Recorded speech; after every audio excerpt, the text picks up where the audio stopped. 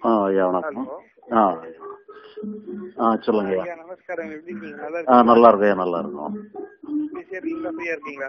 ஆ ஃப்ரீயாக தான் இருக்கேன் சொல்லுங்க. இல்ல இல்ல நேத்து உங்களது நாலாவது புக் அந்த ஞானப்பட்டறை படிச்சுக்கிட்டு இருந்தேன் கேள்வி பதில். சரி. சரிங்களா? அதுல எனக்கு ஒண்ணு வந்து அது எனக்கு குழப்பமா சஜஷனா எனக்கு எனக்கு அதுவே தெரியல முதல்ல. சரி இதுதான். ஒரு குழப்பத்திலேயே தான் நான் யோசிச்சு நைட் அப்படியே யோசனை தூங்கிட்டேன். சரி. என்னன்னா அண்டர்ஸ்டாண்டிங்ல வந்து எனக்கு உங்க மெத்தடே ரெண்டா எனக்கு புரியுது. என்னன்னா நம்மளோட மெத்தடுன்னா உள்ளுக்குள்ள நம்ம செய்யறதுக்கு ஒண்ணும் இல்லைங்கிறத உணரணும். ஆமா. அதாவது வெளில என்னன்னா நடக்கட்டும் உள்ள நமக்கு செய்யற வேலை இல்லை. ஏன்னா அது நம்ம மீறி நடக்கிற விஷயம் எமோஷனோ தாட்ஸோ எதா இருந்தாலும் சரி. ஒண்ணு அக்செப்ட் பண்ணணும். ஆமா. அந்த அக்செப்டன்ஸ் வந்து ரெண்டு விதத்துல வருது. ஒண்ணு வந்து என்னன்னா வெளியில இதெல்லாம் இதுக்கு இதுக்கு இதுக்கு அகேன்ஸ்டா நமக்கு எந்த பவரும் இல்ல அப்படின்னு உணர்ந்தானா அந்த அக்செப்டன்ஸ் வருது. அது. ஒரு வகை. இல்லன்னா நம்ம இந்த லெவல் தான் பர்ஃபெக்டான லெவல் இதுக்கு மேல போறதுக்கு எதுவும் இல்ல அப்படின்னு உணர்ந்தாலும் நம்ம அதை சரி பண்ற வேலைக்கு போக மாட்டோம். இது ஆக்சுவலி ரெண்டுமே ஐ மீன் ரெண்டும் ஒரே முடிவு கொண்டு போனாலும் இது ரெண்டுமே வேற லெவல் ஆஃப் தாட்ல ஆமா ஆமா எப்படி இருந்தாலுமே அங்க வந்து உங்களுக்கு வேலையே இல்லைங்கிறத ஆமா, ஒண்ணு நம்ம இயலாமைய புரிஞ்சுக்கணும். இல்லைன்னா வந்து இதுக்கு மேல ஏற போறது ஒண்ணும் இல்லைன்ற அக்செப்டன்ஸ் அவ்வளவுதான் அவ்வளவுதான். இல்ல இது ரெண்டு தனித்தனி ட்ராக் தானே. மொத்தத்துல ட்ராக் எந்த ட்ராக்கா இருந்தாலும் முடிவிடம் ஒண்ணு தானே உங்களுக்கு வேலை இல்லைங்கிறது தானே அதுல முடிவு. ஏன்னா நேத்து என்ன எனக்கு எனக்கு அங்கங்க ச- சந்தேகம் வந்தது நமக்கு வந்து நம்ம இதுக்கு மேல அச்சீவ் பண்ற லெவல் இல்ல அப்படிங்கறது வந்து எப்ப புரியும்னா அடைஞ்ச பிறகு தானே புரியும் அது புரியலாம் ஆனா உணர்றதுங்கிறது அடைஞ்ச பிறகு தானே உணர முடியும். ஆமா அதாவது அடி இதுக்கு மேல ஒன்னு சொல்லி சொன்னா இந்த கணத்துல இதுதான் ஹையஸ்ட் தானே சொல்ல முடியும். ஒரு கண ஒரு நேரத்துக்கு ரெண்டு வர இருக்க வாய்ப்பு இல்லல்ல. ம். ஒரு நேரத்துல எத்தனை அனுபவம் வரும்? ஒரே அனுபவம் தானே வரும். அப்ப இந்த நேரத்துல இதானே ஹையஸ்ட் ஒரு விதத்துல ரைட்டு. நான் ஏன் சொல்றேன்னா நம்ம என்ன- நினைக்கிறோம்னு சொன்னா ஏதோ ஒரு விசேஷமான ஒரு அனுபவம் உயர்ந்த அனுபவம் ஒண்ணு இருக்கு இந்த அனுபவம் சரியில்லைன்னு நினைச்சோம்னு சொன்னா தான் இந்த அனுபவத்தை நம்ம ரிஜெக்ட் பண்ணுவோம். நோ அதர் சாய்ஸ்னு சொன்னா இதை ஏற்றுக்கத்தானே செய்வோம். இல்ல இல்ல ஏன்னா நீங்க விடுதலை அடைஞ்ச நிலையில சொல்றீங்க. பட் விடுதலை அடையாத நிலையில இல்ல நம்ம என்னோட பாயிண்ட் ஆஃப் இல்ல இதுல அணுகுமுறை என்னன்னு சொல்லி சொன்னா நமக்கு அங்க வேலை இருக்குதா இல்லையாங்கிறது தான். நீங்க ஏதோ ஒரு வகையில வந்துட்டீங்கன்னு சொன்னாலும் உங்களுக்கு வேலை இல்லாத இடத்துக்கு நீங்க வந்துடணும் அவ்வளவுதான். நீங்க வர வேண்டிய இடம் வந்து வேலை இல்லாத இடம் தானே ஒழிய நீங்க வந்து இது இதை வந்து நம்ம வந்து ஒரு பயிற்சியா பண்றதுங்கும் போது நம்ம எதையோ ஒண்ணு பண்றோங்கிற மாதிரி ஆயிருது. இப்போ நம்ம வந்து இதை ஏற்றுக்கிடுறதுங்கிறது இந்த காரணத்தினால ஏற்றுக்கிட்டேன் இந்த காரணத்தினால ஏற்றுக்கிடலங்கிறதுங்கிறதுலாம் வந்து ஒரு ஒரு அப்ரோச் அது. ஆனா அதுல நம்ம வந்து இல்ல நான் இது ஒரு சஜஷன் உங்களுக்கு சொல்லணும் இப்போ எப்படின்னா இப்போ என் பாயிண்ட் ஆஃப் வியூல நான் இப்போ இந்த அடையாத நிலையில வந்து எனக்கு இயலாமை கிளீனா புரியுது. ஏன்னா எவ்வளவு கோர்ஸ் போயினோம் என்னமோ பண்ணேன் கோவத்தை ஒண்ணும் பண்ண முடியல அது இன்னும் இன்னும் அதை அடக்கனா வெடிக்குது.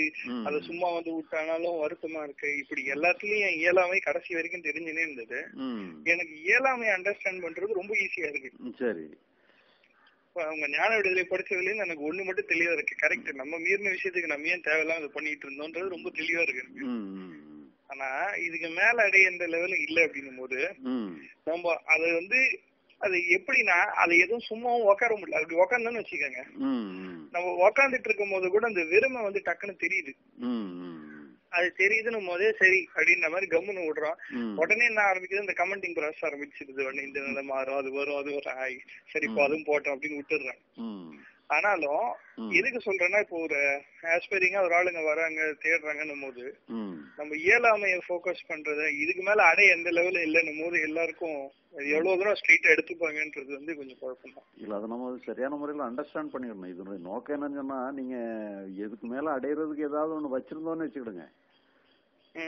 அது உங்களை வே வேலையில தானே தூண்டிக்கிட்டு இருக்கோம். அது இல்ல அது அடையிறதுக்கு கரெக்ட் அதான் சொன்னேன். இதுவும் இது ஒரு மெத்தடு அது ஒரு மெத்தட் ஒண்ணு இயலாமை புரிஞ்சுக்கணும். இல்ல இதுக்கு மேல அடைய எதுவும் இல்லன்றத ஒத்துக்கணும். இல்ல ரெண்டும் ஒன்னதான் சொல்லுதுன்னு புரிஞ்சிட்டாலும் சரிதான். நீங்க இது ரெண்டு இதுல ஒன்ன புரிஞ்சிட்டாலும் சரிதான். ரெண்டையுமே சேர்த்து புரிஞ்சிட்டாலும் சரிதான். புரியுது. எனக்கு என் கையால் ஆகத்தோன்னு இதுல நல்லா புரியுது. அது ரொம்ப கிளீனா புரியுது. ஆனா இல்ல நீங்க நீங்க இன்னும் கொஞ்ச நாள் போயிட்டீங்கன்னு சொன்னா இதுவும் அதுவும் ஒண்ணுதாங்கிற மாதிரி கூட புரிஞ்சுக்கிடும். ரெண்டுமே ஒண்ணுதான் எனக்கு தெரியுது. ரிசல்ட் ஒண்ணுதான்றது தெரியுது. ஆமா ஆமா ஆனாலும் அந்த லெவல் வந்து சரி எனக்கு எப்படி ஒரு ஒரு ஒரு ஒரு சாந்தப்படுத்திக்கிற மாதிரி இந்த தேவையில்லாத ஜஸ்டிபிகேஷன் என்ன மாதிரி வருதுன்னா சரி விட அடையும் போது நமக்கு புரியும் அப்படின்ற மாதிரி ஆயிடுச்சு. ஆமா இல்ல இப்பவும் கூட என்னன்னு சொல்லி சொன்னா உங்களுக்கு அடையறதுக்கு ஏதோ இருக்கு ஆனா இப்ப நம்ம இப்படிதான் இருக்க வேண்டி இருக்குங்கிற மாதிரி ஒரு இது அந்த அந்த- சிக்கல் வருது. ஆனா என்னன்னா இப்ப அதுக்கான முயற்சி எல்லாம் விட்டேன். சரி வரும்போது வரட்டுங்கிற மாதிரி விட்டேன் அவ்வளவுதான். அதாவது அதே மாதிரி இப்ப மொத்தத்துல வந்து கடைசி வரைக்கும் என்னன்னு சொல்லி சொன்னா நம்ம அடையிறதுனோட உச்சமான நிலையிலுமே கூட உங்களுக்கு வரக்கூடிய அனுபவங்கள் எந்த அனுபவங்கள் வேணாலும் வரும். அந்த அனுபவத்தை நீங்க வந்து ஈஸியா எடுத்து போயிட்டு இருக்கீங்கிறது தான் கடைசி நிலையே அதுதான். நீங்க எவ்வளவு கடைசி நிலைக்கு போனாலும் இதே நிலைதான் உங்களுடைய அனுபவத்தை வந்து நெக்லெக்ட் பண்றது தான் கடைசியான நிலை. நம்ம ஏதோ ஒரு நம்ம வந்து இந்த கடைசி நிலைங்கிறது ஒரு விசேஷமான அனுபவம்னு நம்ம நினைச்சுக்கிட்டே இருக்கிறோம். ஏன்னா நமக்கு வந்து நம்ம சாஸ்திரங்கள் அப்படித்தான் அந்த அர்த்தம் வர்ற மாதிரி சொல்லிட்டு போயிடுறாங்க. அதனாலதான் நமக்கு ஒரு மன எழுச்சியும் ஏற்படுது ஒரு நல்ல இடத்துக்கு சொல்லி அப்படி அப்படி மட்டும் இல்லையா ஞான விழிப்படைதல் அப்ப இந்த லிபரேட்டட் ஸ்டேட் வந்து. முன்னாடி எக்ஸ்பிளைன் பண்ணவங்க எல்லாம் வந்து. அவங்க எந்த லெவல்ல எக்ஸ்பிளைன் பண்ணாங்க என்னமோ அது வந்து கடவுள் நிலை மாதிரி மத்ததெல்லாம் வந்து ஒரு கீழ் நிலை மாதிரி அழகா அதான் அவங்க அந்த இன்டென்ஷன்ல சொல்லலனாலும். அவங்க இந்த நிலை ஒரு அருமையான நிலைன்னு சொல்லிட்டு எக்ஸ்பிளைன் பண்ண ஆரம்பிச்சாலே போச்சு உண்மையிலேயே அப்படி ஒரு நிலைதான் பட் இருந்தாலும் அது எப்படின்னு சொல்லி சொன்னா எல்லா நிலைகளும் நம் நம்- நம்ம எல்லா நிலைகளையுமே ஒரு அனுபவங்கிற மாதிரி எடுத்துக்கிடுறோம். ஒரு அனுபவங்கிற சென்ஸ்ல எடுத்துக்கிட்டனால ஏதோ ஒரு விசேஷமான அனுபவமா அதை எடுத்துக்கிட்டு அந்த ஒரு நிலையை நம்ம எதிர்பார்த்துட்டே இருக்கோம். உண்மையிலே வந்து எல்லா அனுபவங்களையும் புறக்கணிக்கிறது தான் அந்த நிலை அது இப்ப நீங்க எப்படி என்ன முத்திரை குத்தி அந்த அனுபவங்களை புறக்கணிச்சாலும் சரி கடைசி வரைக்கும் அனுபவங்களை புறக்கணிக்கிறது ஒண்ணுதான் அங்க நடக்கணும். வேற ஒண்ணுமே நடக்கக்கூடாது. அனுபவங்களை தேடுறதுங்கிறது வந்துடவே கூடாது அவ்வளவுதான். சரிங்க எனக்கு இன்னும் ஒரு சந்தேகம். இப்போ